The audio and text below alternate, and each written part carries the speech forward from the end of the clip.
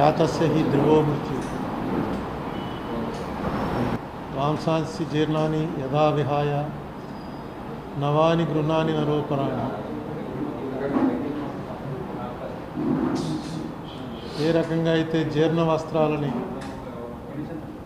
త్యజించి కొత్త బట్టలు వేసుకోవటం ఎలాగో ఈ జన్మ చాలించడం కూడా అలాంటిది.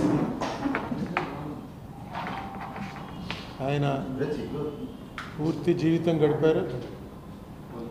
ఎవరితో రాజీ పడకుండా ఒక ఫైటర్గానే కాలధర్మం చెందారు. నేను ఆయన కలుద్దామని చాలా ప్రయత్నాలు చేసి కలవలేకపోయాను. అదొకటే నాకు అసంతృప్తి ఉంది కానీ ఆయన ఏ రంగంలో ప్రవేశించిన ఆ రంగంలో ఒక సెలబ్రిటీ స్థాయికి ఎదగగలిగారు నేను మీకు అనేక సార్లు చెప్పాను నేను చూసిన వాళ్ళలో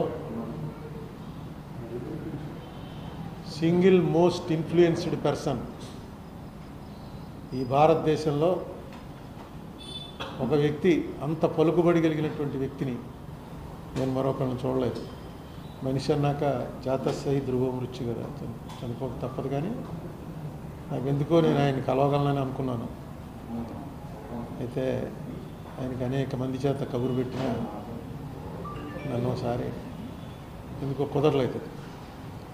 ఎనివే వారి కుటుంబానికి నా ప్రగాఢ సానుభూతి వారికి ఉత్తమ గతులు సంప్రాప్తించాలని ఆ భగవంతుని కోరుకుంటున్నాను.